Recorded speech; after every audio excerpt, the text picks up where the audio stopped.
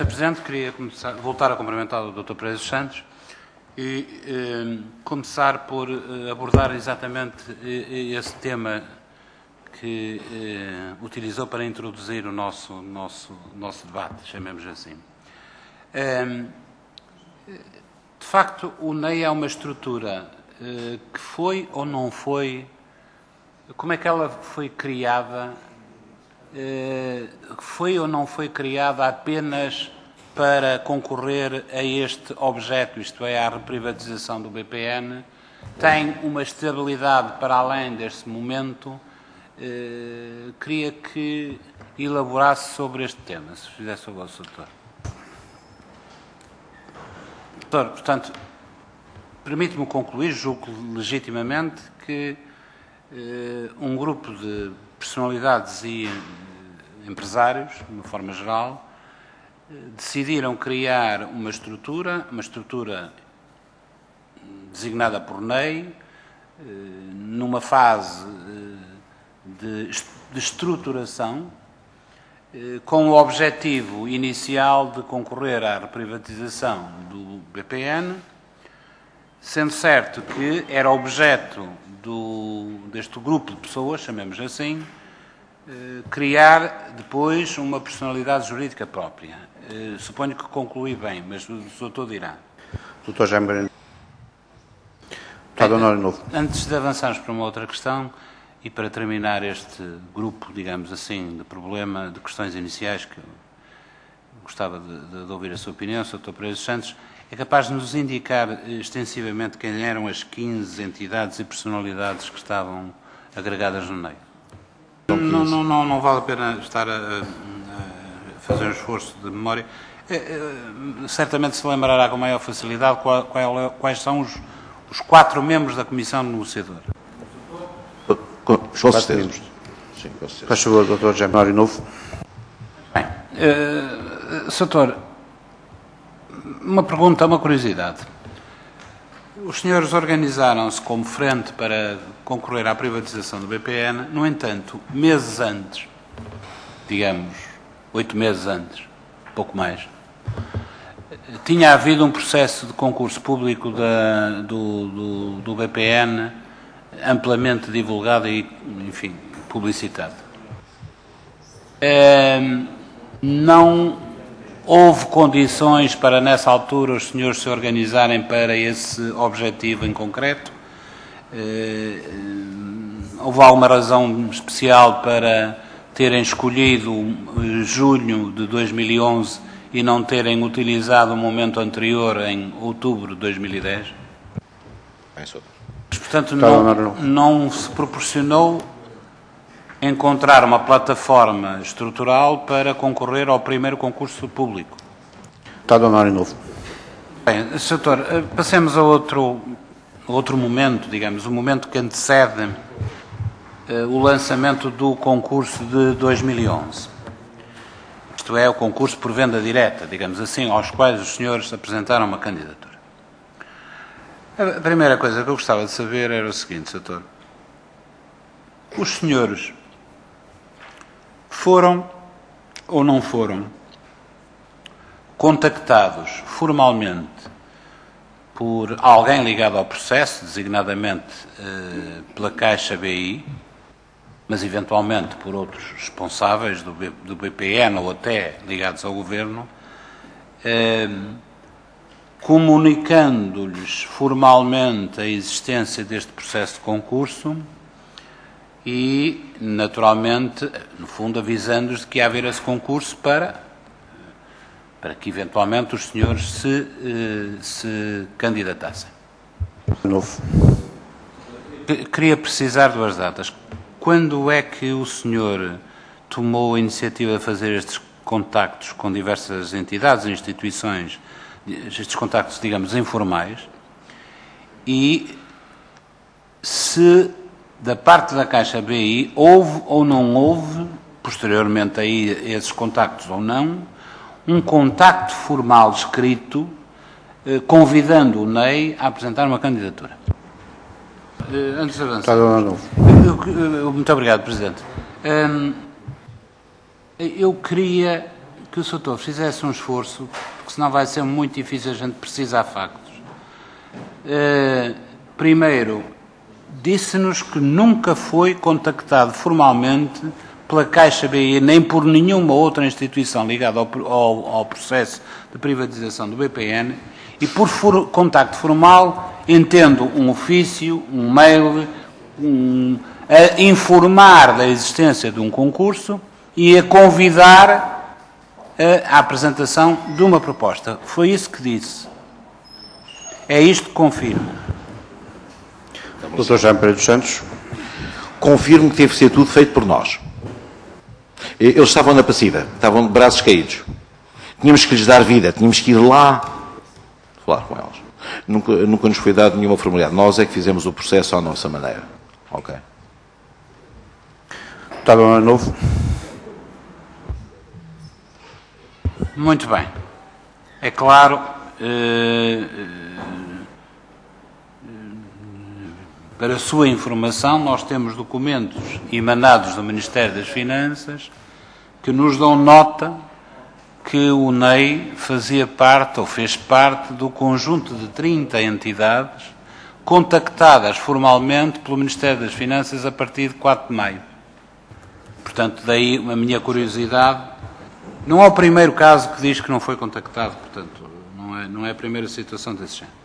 Doutor, eu agora, eh, finalmente, gostava que o senhor detalhasse a proposta do NEI e os seus detalhes relativamente ao preço, condições de pagamento, trabalhadores, preço final, recapitalização e um, eh, elementos de credibilidade financeira associados à proposta.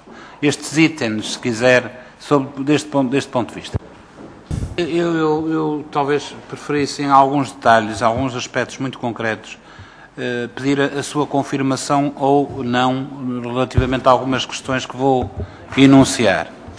Quanto ao preço final, proposta final, os senhores propunham comprar o BPN por 121,6 milhões de euros, com o pagamento no ato de escritura de 20 milhões de euros e um pagamento durante quatro anos. É isto, Sr. Pagamento da parte restante, naturalmente. Está exato. Está, está exato, Sr. Deputado. Obrigado, Sr. Presidente. Está exato. Está exato. propunham não fazer qualquer despedimento, isto é, ficar com os 1.580 trabalhadores, ou 1.590. Dr. Jaime Pereira dos Santos. Obrigado, Sr. Presidente. Sr. Deputado, exatamente. No património ativo e passivo não havia nem perímetro, nem despedimentos. Os trabalhadores fazem parte, digamos,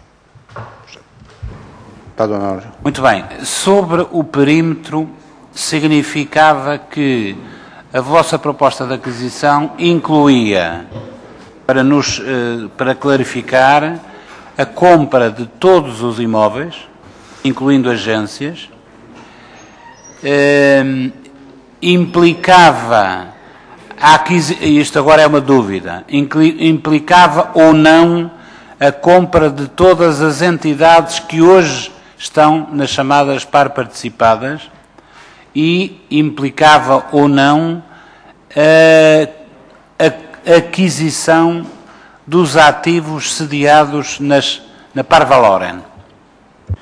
Dr. Jaime Pereira dos Santos. Doutor, um, os senhores consultaram o Data Room. No Data Room não estava clarificada e informada em detalhe a situação das chamadas entidades veículos, chamadas para, par Valoren, par UPS, par participadas, o que é que eh, lá estava ou não estava, deixava de estar? Aparece o nome do Dr. José Eduardo Betancourt na vossa proposta. Desmentiu a ligação, eh, eh, desmentiu o facto dos senhores terem avançado com, eh, na apresentação do nome do Dr. José Eduardo Betancourt como responsável financeiro do projeto. É isso? Doutor, uma última questão. Ehm, as propostas, as quatro propostas candidatas foram analisadas por uma comissão de análise construída no âmbito da Caixa BI e ehm, para a negociação final foi escolhida apenas uma candidatura, a candidatura do Banco BIC. Eu queria saber, entre a apresentação de, da candidatura inicial no dia 20 de julho e o momento em que a negociação final ocorre só com o BIC, o que é que vos foi comunicado sobre o processo de candidaturas? Isto é, se vos foi comunicada a exclusão da vossa candidatura e quando? Doutor já Queria saber o seguinte, para precisar. Entre o dia 20 e o dia 31 de julho, os senhores não receberam nenhuma comunicação formal dizer assim, os senhores estão excluídos da candidatura. A vossa proposta não está a ser considerada. Receberam ou não receberam formalmente qualquer, neste período de tempo, alguma comunicação? Não houve resolução nenhuma, nem até 31 de julho, nem depois de 31 de julho, nem nenhuma comunicação escrita. Sr. Presidente, Sr. Pereira dos Santos, eu queria-lhe, no início desta segunda volta, porque ela é feita de uma forma diferente do que ocorre na primeira volta, isto é, nós fazemos todas as perguntas ao mesmo tempo e o senhor só responde no fim, que tivesse amassada de pegar numa caneta e num papel para registar todas as perguntas, porque, como eu vou fazer muitas, certamente os meus colegas vão fazer muitas, ao fim de quatro rondas, o senhor certamente se terá esquecido. E começava exatamente pelo princípio, isto é, vou retornar e retomar a primeira pergunta que lhe fiz na primeira volta.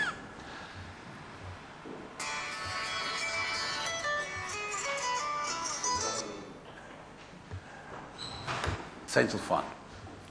Um, e que é a seguinte, Soutor. O Soutor disse que era professor na Lusófona, foi contactado por um conjunto de amigos e de conhecidos e de empresários representante de diversas instituições e entidades, para constituir a, a.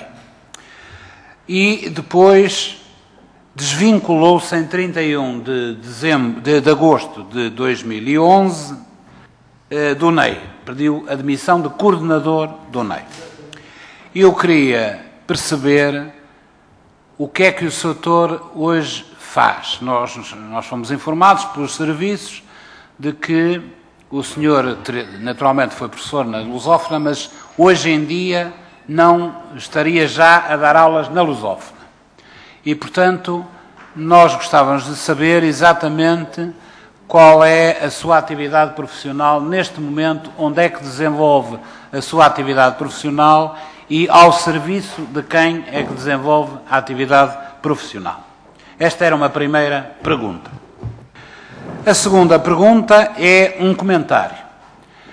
Nós, eu pelo menos, não subscrevo eh, qualquer tipo de alusão que possa ser inferida pelo facto de, entre os membros do NEI, estarem eh, eventualmente pessoas objeto de investigação judicial.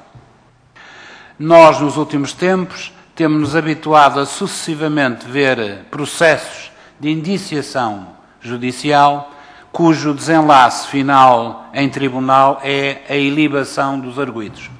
Ainda há pouco tempo tivemos o caso do Freeport, em tempos mais menos recentes o famoso caso dos sobreiros, por aí fora. E, portanto, não consideramos que haja uma diminuição de direitos de ninguém o facto de, constituindo-se ou sendo arguídos de processos, como nós sabemos que alguns dos membros do NEI eram já à altura da apresentação da candidatura, não nos parece que, até demonstração em tribunal, que algumas dessas pessoas possam ser diminuídas nos seus direitos. E, portanto, eh, esta era não uma pergunta, mas, digamos assim, uma afirmação. Agora, eh, eu queria lhe fazer uma segunda pergunta. Era a seguinte: qual é a entidade coletiva de interesse público que faz parte dos 15 elementos constituidores, constitutivos do núcleo eh, eh do NEI?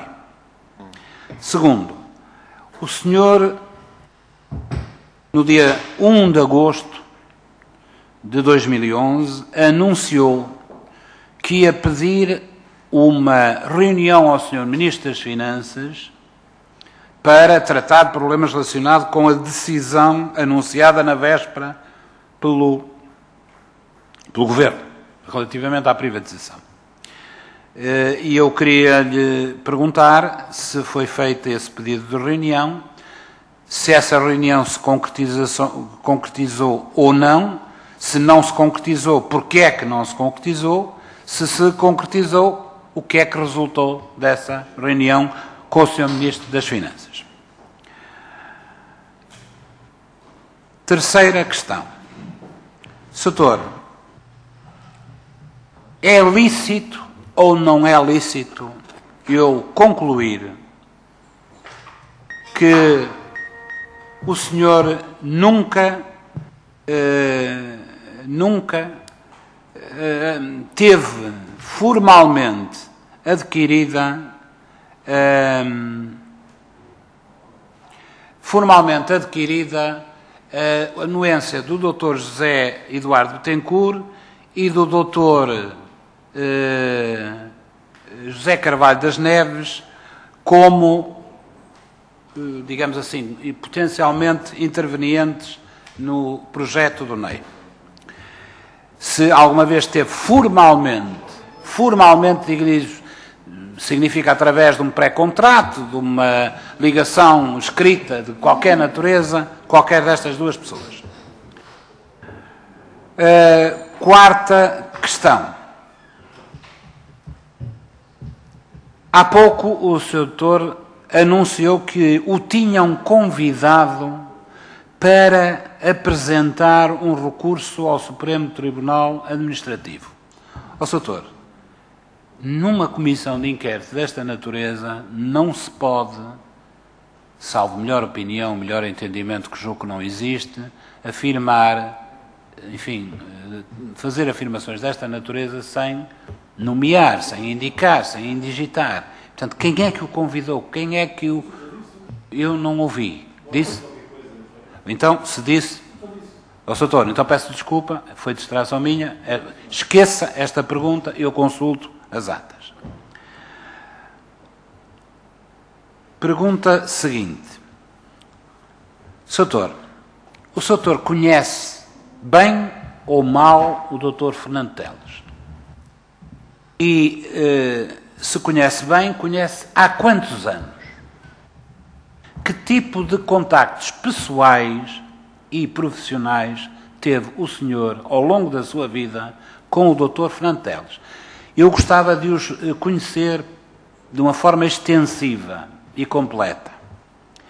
E vou fazer exatamente o mesmo tipo de pergunta relativamente ao Sr. Engenheiro Mira Amaral. Quando é que conheceu o engenheiro Mira Amaral? Que contactos é que teve com ele?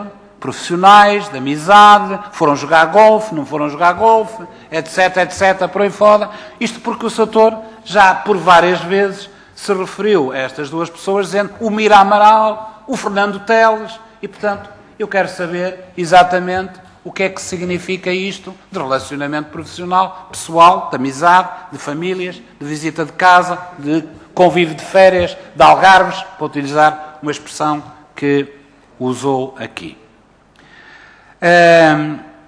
também queria saber se sabe, se o senhor pessoalmente, ou se sabe se alguém da comissão negociadora do NEI, que eram quatro pessoas, ou alguém entre os 15 membros do NEI, se teve conhecimento, se soube, mesmo posteriormente, se neste período de negociação ou de prévia apresentação da candidatura das propostas, se tiveram algum contacto com elementos ligados ao Montepio e ou ligações, contactos, conversas com membros ligados ao BIC. Finalmente, o senhor demitiu-se em 31 de agosto do NEI e eu queria, naturalmente, agora não me pode responder pelo NEI, é óbvio, é normal. Aliás, sobre esta matéria já lhe fiz uma outra pergunta logo no início. O que eu gostava de perceber era o que é que é feito do NEI depois de 31 de agosto? Que atividade visível, que, que todos possamos conhecer, que o senhor conheça, é que o NEI desenvolveu a partir de 1 de setembro de 2011 até agora. Isto é, transformou-se em estrutura com sociedade anónima para eventualmente potenciar aquilo que eram os objetivos anunciados em junho de fazer uma frente nacional de investidores portugueses para, enfim, para, eh, enfim, para se abalançar a, a projetos conjuntos, etc., etc., ou acha, tem conhecimento, pelo contrário, de que o NEI eventualmente enfim, terá perdido esta perspectiva dinamizadora a partir do momento que o senhor o abandonou em 31 de agosto eh, de 2011. Eh, e mais nada, Sr. Se vai passar a outro colega, talvez fosse melhor terminar o conjunto de perguntas que eu lhe fiz e que ainda não estão respondidas. Uma é da, da reunião que foi anunciada com o Sr. Ministro das Finanças. Ah, e outro a das declarações formais das pessoas que convidou a colaborar com o NEI. Isto é, José Eduardo Tencourt, José Carvalho das Neves. José ou João, não sei se é João. João. Por favor, Sr.